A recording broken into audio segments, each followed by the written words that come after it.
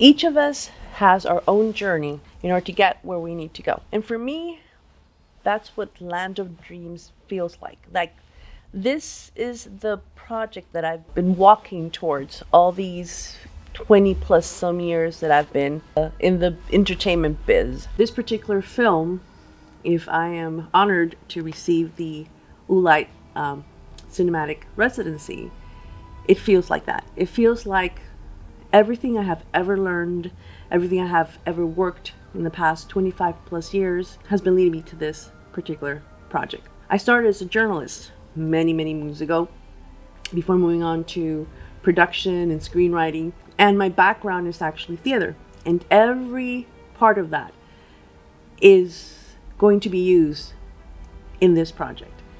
My journalism experience taught me how to research, which will be necessary to make sure that we present the story of the Peter Pan children the way it's supposed to be. My theater experience taught me about framing in a different way.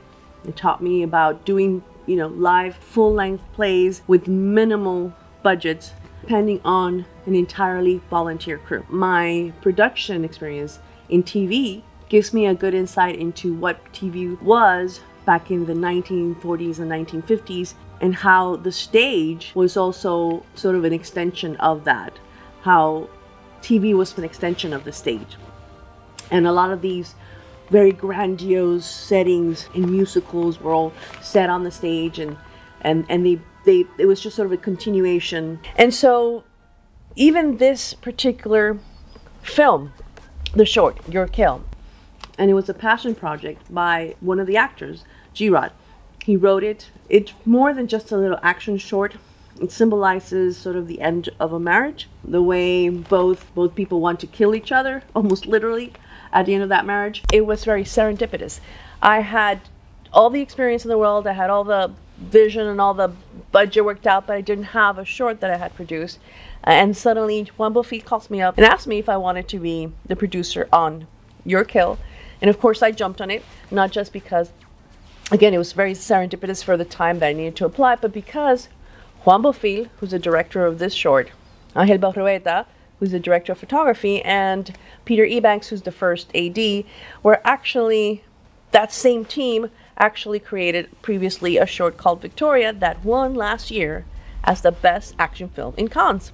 Right? They won, won New York, it won in Paris. I feel very honored to be included in this award winning team.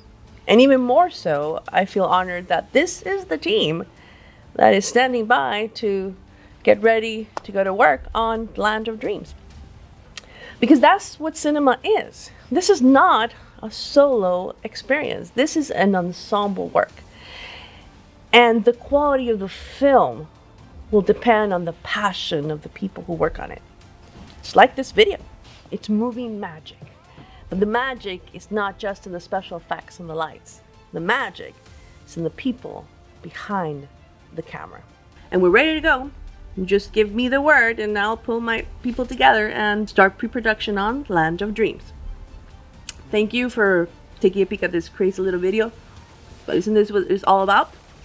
A little bit of movie magic.